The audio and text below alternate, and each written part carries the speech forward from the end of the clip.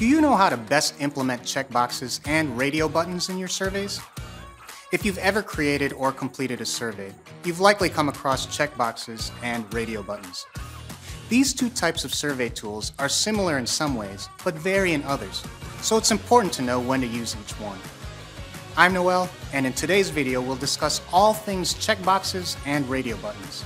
What they are, when to use them, best practices, and a quick step-by-step guide on how to implement them in your surveys. Let's go.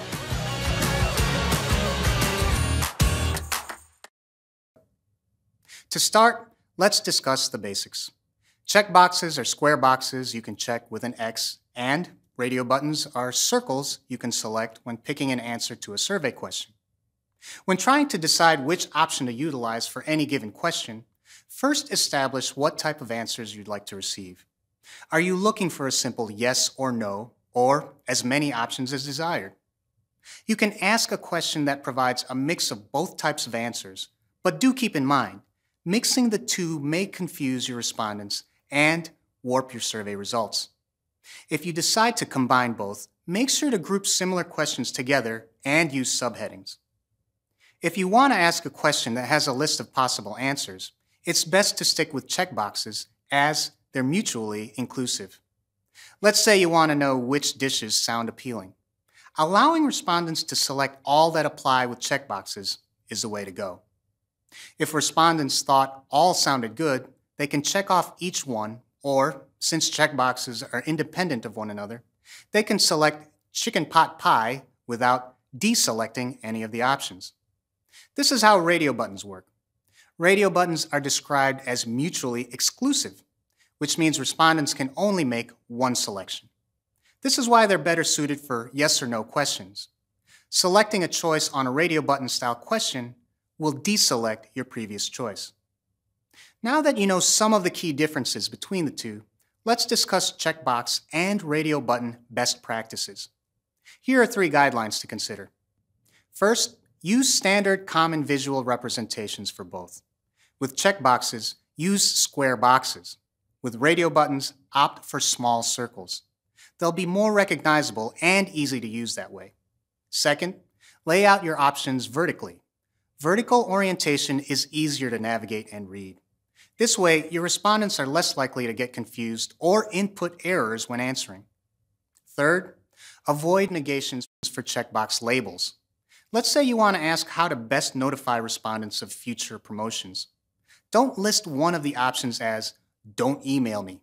Instead, list email as one of the options and let your respondents decide whether or not they want to select that option. So you've gathered a better understanding of checkboxes and radio buttons, as well as some best practices. Let's move on to our quick step-by-step -step guide on how to implement these tools into your surveys. A great tool to lean on is JotForm. This user-friendly and powerful survey tool is completely customizable and code-free. You can build forms, tables, PDFs, and app templates all from one place. If you want to add checkboxes to your next JotForm survey, just follow these 12 steps. First, go to the JotForm form builder and select the form you'd like to customize and add checkboxes to. Second, get your form's overall style just how you'd like it. This includes the theme and layout. Then click the Add Form Elements button in the left corner of your screen. Third, click the Widgets tab. Fourth, search for the word checkbox. Fifth, select the style of checkbox you'd like to use. There are options like flat, Polaris, button, and line. The square checkbox is the most recognizable option. Sixth, Type in your question into the square checkbox field. Seventh, type in your answer choices in the Options field located under the Widget Settings tab on the right side of the form builder. Eighth, make any adjustments to the font or font color via the Widget Settings box. Ninth, click the green Update Widget button when you're done. Tenth, toggle the Preview Form button in the top right corner to see what it looks like on a phone, tablet, or desktop.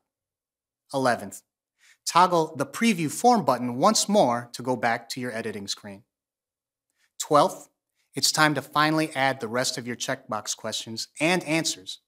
Then click Publish, located in the center of the Form Builder's upper menu to share, embed, or print your form. If you want to go to the radio button route on your survey, just follow the first three steps from the checkbox How To and then complete the following steps. After creating the overall form style how you want, search for the phrase radio button. Then a list of radio button styles will appear. There are options like Polaris, Square, and Line. You can choose whichever you prefer, but flat radio buttons tend to be the most recognizable. From the Flat Radio Buttons field, type in your questions. Then, on the right side of the Form Builder, select the Options field located under the Widget Settings tab. There you'll type Yes and No vertically, one per line. From there, follow the final steps for the checkbox How To to finalize your radio button survey. There you have it. All the ins and outs of checkboxes versus radio buttons and how to add them to your survey forms. Now you'll be better equipped to use them correctly and collect valuable, actionable feedback. Let's review. The main difference between checkboxes and radio buttons is that checkboxes allow for multiple answer responses, whereas radio buttons allow for only singular answer responses. Here are three best practices when utilizing checkboxes and radio buttons. 1. Use standard common visuals. 2. Use vertical orientation. And 3. Avoid providing answers in the form of negations. As always, thanks for watching. Make sure to subscribe to our channel before you leave. Until next time, I'm Noel with JotForm. Take care.